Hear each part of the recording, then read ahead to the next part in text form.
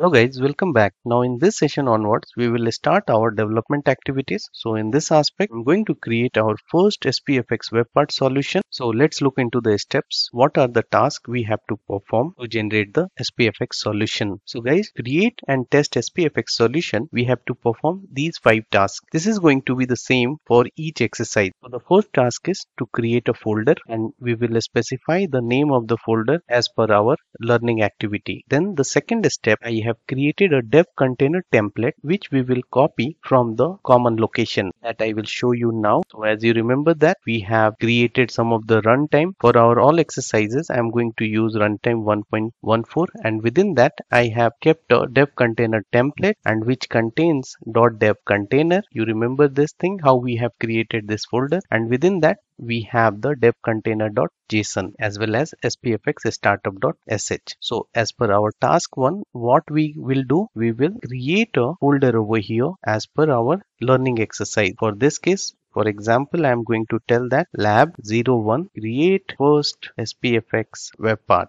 this is my task one which I mentioned. Then the second task which I mentioned earlier that is copy dev container template. So I will come over here, go inside this, copy this folder and I will go back and I will paste it over here. This is my second task and this we need to repeat for each of the exercises which we will do. Now the next step, the third step. So the third step is generate SPFX boilerplate code. So let's do that as well. So how we will do that? We will come over here, right click and show more option and open with code and it is giving us the option reopen in container. We will click on this. So now it is starting the dev container which I have shown earlier in our earlier exercises. So now you will get this error. So don't bother about this error. Just simply click on this plus icon. So it will give us the new terminal and over here to generate the boilerplate code that is our third step. We need to write q at microsoft slash sharepoint. So this is the generator. So with the help of this it will generate the boilerplate code for our spfx solution. So let's enter it. Then it will ask for some of the configuration questions. So over here i will tell why yes and then it is asking what the name you want to keep for your solution. So let's look into that.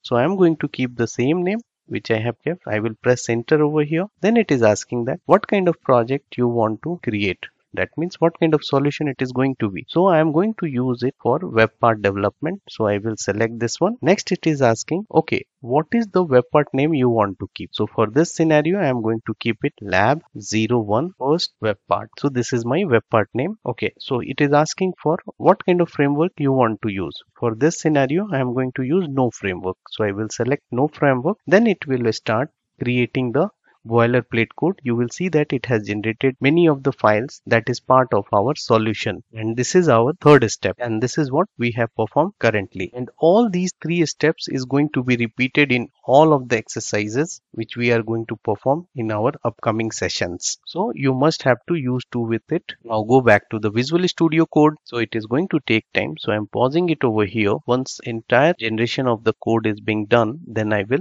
come back. So now it has completed the boilerplate code generation. Now we will perform the step number four to build the solution. So the step number four that is task four we are going to build the SPFX solution. So how we will do that? Let's look into that. So before executing it we must have to build it. We will tell that gulp build. So this will build the SPFX solution. So it has started building SPFX solution. So now it has completed it. Now the next step we need to test it. So how we will test it? So we need to perform the task number five 5 that is test SPFX solution. So how we will do that? Let's look into that. So prior to testing this application, we must have to change some of the configuration. So I would like to specify my site collection which we have created earlier over here so that whenever we will run the gulp serve it will open that particular site collection. So how we will do that? Let's look into that. So we will grab the site collection URL and we will paste it over here. So this is the same site collection which we have created earlier. So I will copy this and I will go back and over here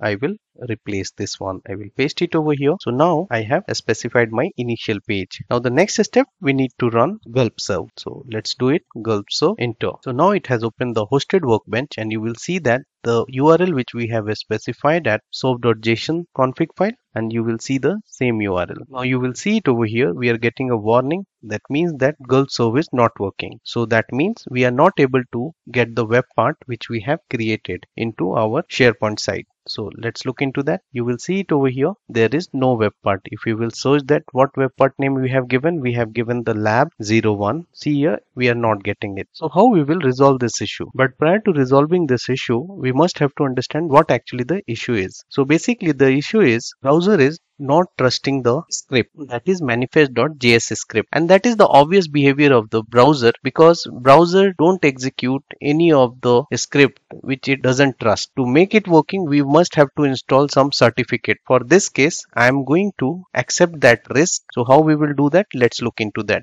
so what I will do, I will press Ctrl Shift I. It will open the developer tool and over here I will get the network. I need to go inside the network but prior to that I will reload it. So once I will reload it then you will find it over here. There is something called manifest.js. So this is the thing which is not getting executed. If this will get executed our Gulp serve will work. So copy this URL, copy link address and I will open it over here and paste it let's paste it into and you will see that it is telling that it is your connection is private. I will go inside the advance and i will tell that continue to the local host. I would suggest that you should bookmark this url because this is going to be used in our upcoming sessions. So i'm going to do the same done. And over here i will go back i will close all this okay and i will refresh it and this time it will work. So now you will come over here and you will see that we are getting our web part that is lab01 FWP and you will see that this is the output of our boilerplate code which SPFX generator has generated. So guys I will stop over here. In the next session what we will do we will learn about what all these solution has and what is the significance of